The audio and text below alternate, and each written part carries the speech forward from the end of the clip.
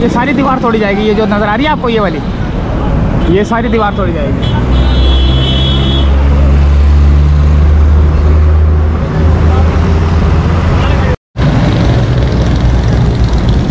ये था service road जो कवर कर दिया गया था।